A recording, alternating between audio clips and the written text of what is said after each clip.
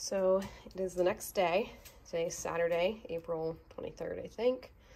Um, we brought the chicken in from the fridge outside. I never got to, or got around to showing the actual process of butchering the chickens because we only ended up having 19 chickens left and the process went so fast that Brian had six killed before I could even grab my phone and it just went super super fast. So I showed you the setup of how we set up to butcher the chickens and I ran through the process of how we actually butcher them step by step we skipped the whole messy part and now we are going to show you how we butcher or um, how we wrap the, the chicken meat to go to our freezer.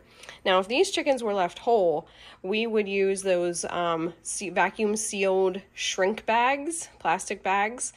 It just makes the work really easy. It's really hard to wrap a whole chicken in butcher paper, and it's kind of wasteful in terms of the amount of paper you would have to use too. Some people do it, but we prefer those shrink bags, so they work really well. But for this round, we actually cut up all 19 birds.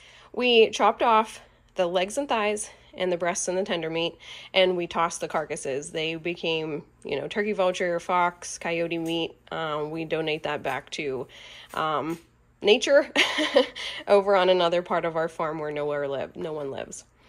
So uh, with that being said, we have some thighs here and we have breast meat as well. Now, this is how we stack it straight from the fridge. We, once it's cut off of the chicken, the carcass of the chicken itself, we rinse the meat off, stack everything just in, we put thighs in this, as many as we could fit, and then we just cover it with plastic wrap or, or aluminum foil, and we just slid it back into the fridge. And then we have some of these cookie sheets too because we ended up with three cookie sheets full and this tub full. So we've already wrapped up all of the thighs that were in here and they are already in our freezer. We bring these trays in from the garage. We rinse the meat with cool water, especially the thighs because the thighs have so many little pin feathers left on them. You can, yeah, you can see them right there. So we take the time to really rinse and wash the meat now. So we rinse it. Hi, Harper. And then it goes over here to these towels, and London is on drying duty. I always pat the meat dry, and as these towels get damp, we swap them out. We just run those through the washer on hot water. Um, so we have been packing, yeah, Harper is showing. We just pat them dry. That's all we do. We have been packaging three leg and thigh combos per butcher paper. And this is probably, I don't know, about 18 inches wide, I'd say. Three legs and thighs. And then we're doing either two really big chicken breasts or we're doing three of the, of like the smaller size breasts because not all breasts are created equal.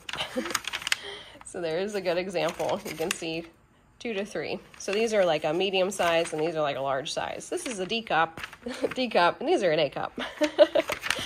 and then we also have the chicken tenders over here. We're packaging those separately. So we just kind of assembly line this. We have all of our tape strung across the countertop just to make simple work. And then we had all of our butcher paper, or at least a lot of it. Say hi, Lennon.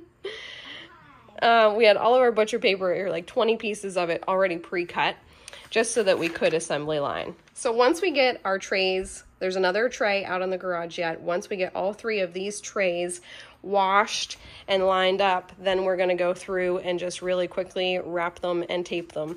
You just wrap them like a present. You just fold the corners in, get it as tight as you can without ripping the paper, and then I use probably two pieces of tape to hold it. Then we flip the package over and on the bottom side with a sharpie we write what is inside. We write two two chicken breasts and then the date or three thighs and the date. Um, but we always make sure to label our meat really well. And then it goes then it goes down our basement steps and to our big chest freezer down there so really the process yesterday only took about three hours from start to finish from the time we set up to butcher to the time that we had cleaned up, came in and sat down. Brian and I, it only took us about three hours to call all 19 chickens. Now this portion with the two girls helping me, I would say we're gonna be at this for about an hour if we worked consistently. So four hours and butchering about 20 chickens from start to finish, and that's cleanup included. It's really worth it. All right, so whenever I wrap, Harper is manning the camera. Whenever I wrap the meat, I like to, and I don't, I don't know if this is right or wrong. I'm not a professional butcher. I'm not anything like that. But what I do is I just kind of bring the corners up and then bring them up and over. Kind of like wrapping a Christmas present. It is like wrapping a Christmas present, except our present is chicken. So this one had three, three breasts in it, and I just put some tape on. This really could have just gone with one piece of tape, but we're just extra on just in case. We're gonna flip it over. Lennon is going to, well, I'll write it this time. I just write what is inside. Three breasts, and then today's date.